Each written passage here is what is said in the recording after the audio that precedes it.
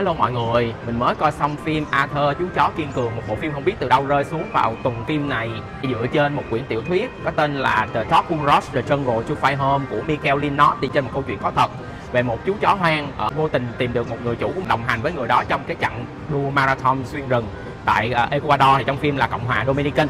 Những bộ phim về đề tài sen và boss sẽ có rất là nhiều cảm xúc và dĩ nhiên sẽ có những khoảnh khắc rất đáng yêu giữa người chủ và chú chó. Điểm khác biệt của bộ phim này là họ không có mối quan hệ gì từ đầu hết mà cái duyên của họ được nên được tạo nên bởi một cục thịt viên khi mà chú này vô tình cho chú chó này ăn và chú chó này quyết tâm đi theo chú này luôn và làm những cái la bàn chỉ đường cho đội của chú này vậy đó. Và trong phim thì chúng ta không chỉ có tình cảm của anh này với chú chó mà còn là những khoảnh khắc của anh với đồng đội của mình. Một cái anh bị yếu đầu gối, một cái chị leo núi và anh Simu trong Barbie á. Nhìn chung thì một những với những cái bộ phim về đề tài sen, boss rồi tình bạn như này thì mình không có đòi hỏi cao nhiều cần nó đủ cảm xúc và lôi kéo mình xem từ đầu đến cuối phim là ok, thì phim này làm được cái chuyện đó tuy nhiên ra mắt một cái tuần lễ khá là nhiều phim như ngay sau lễ nữa thì khả năng bộ phim khó có thể nên việc lớn. Nhưng mà nếu mà bạn thích một bộ phim về chủ đề boss và sen hay là một chữa lành á, thì phim này thật sự là chữa lành mà.